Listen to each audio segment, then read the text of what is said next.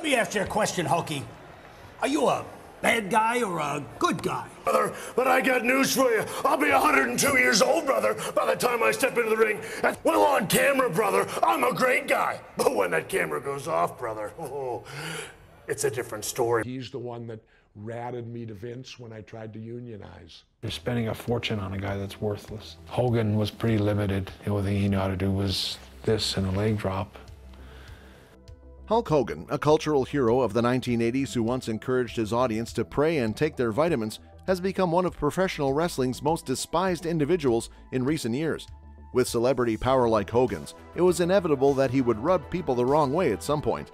Wrestling fans' opinions on the Hulkster are divided at the moment. Today, we'll look at the 10 wrestlers who hated Hulk Hogan in real life. We also get to dig into the tea as to why his relationships with these wrestlers took such a nosedive. Number 10, Bret Hart. The tensions between Hart and the Hulkster began on the job. When Bret Hart was defeated by Yokozuna at WrestleMania 9, Hulk Hogan walked down the aisle and picked up the pieces, beating the champion in a quick 22 second bout to claim the championship.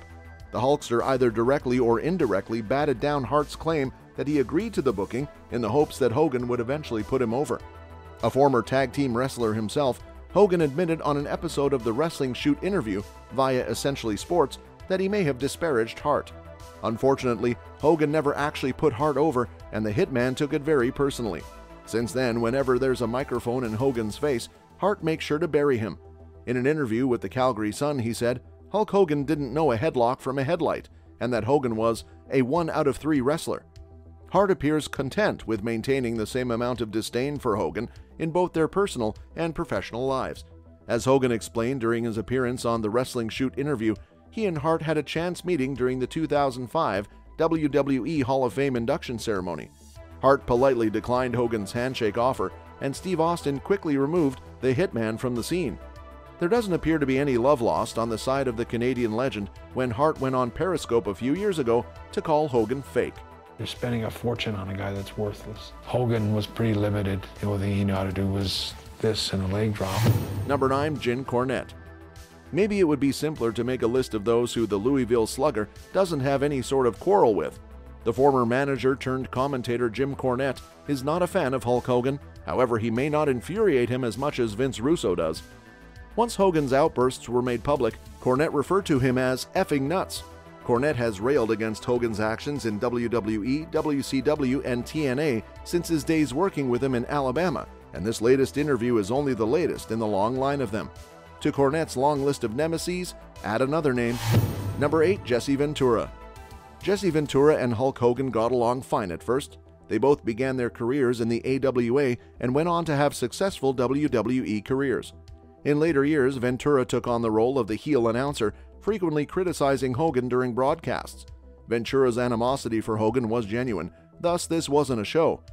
In the mid 1980s, Ventura spearheaded the formation of a union for professional wrestlers to improve their working conditions and salary. He made contact with Hogan, who informed McMahon, who promptly put an end to the dispute. Ventura has made it abundantly obvious that his animosity toward Hogan, who he holds responsible for derailing the company's attempt to transform, persists. Can't trust him. I don't, I'm not friends with anyone I don't trust. He's the one that ratted me to Vince when I tried to unionize. Number 7. Kofi Kingston. To say that Kofi Kingston hates Hulk Hogan would be an overstatement, but he clearly has problems with Hogan. This would be strange, seeing as how they were never in the same place at the same time. Kofi was just getting started with The New Day when the whole infamous tape fiasco broke out. Number 6. Scott Steiner. Scott Steiner is famous for eccentric ramblings. Big Papa Pump spares no insults while discussing Hogan.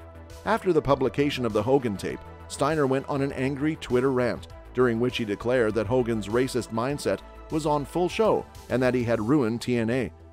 The incident when Steiner allegedly threatened Hogan's family led to a major uproar that ultimately resulted in Steiner being barred from attending the WWE Hall of Fame induction ceremony. Strangely, Hogan expressed concern about Steiner's health, but Steiner doesn't appear prepared to put the past between them to rest. Number 5. Bob Backlund.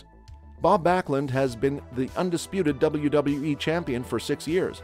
He was defeated by the Iron Sheik in December of 1983 and Hogan won the championship back a month later.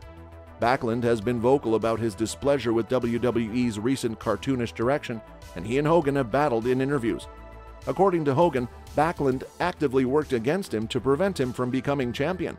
While Backlund insists he doesn't detest the person, his venom in interviews shows otherwise, and he has fought back with rants about Hogan cheating in life. Number 4. Sid. Right from the start, Sid Vicious was being called the next Hulk Hogan. Although Sid had brief championship reigns in WWE and WCW, he was never quite as popular as Hulk Hogan. Reasoning includes the fact that animosity between the two dates back to the 1992 Royal Rumble. Hogan was very insulted by the crowd's reaction to Sid's elimination of him. Hogan reportedly broke down in tears to Vince. Their match at Mania 8 was likened by Sid to an episode of The Three Stooges. With Sid blaming Hogan for his poor start in WWE, their feud continued in WCW. Number 3. Shawn Michaels Wrestling fans around the world witnessed Shawn Michaels' issues with Hulk Hogan unfold in the summer of 2005. As the summer progressed and Michaels interacted with Hogan in preparation for their SummerSlam battle, Michaels was increasingly frustrated by Hogan's political maneuvering, which had become routine by that point. In the Shawn Michaels story, Heartbreak and Triumph, Michaels was able to talk about his problems with Hogan. Michaels said that he and Hogan had planned on doing a best of three series to give both men their due, but Hogan dropped out of the series days before the pay per view forcing Michaels to put Hogan over in a one off despite Hogan's part timer status. He also preferred a babyface versus babyface match as opposed to having to temporarily turn heel to service the match. Well, on camera, brother, I'm a great guy. But when that camera goes off, brother, oh, it's a different story, brother. Oh, brother. Number 2. Iron Sheik. Even though the Iron Sheik is several years removed from the Hulkster's heyday, he was arguably Hogan's most renowned rival inside the squared circle.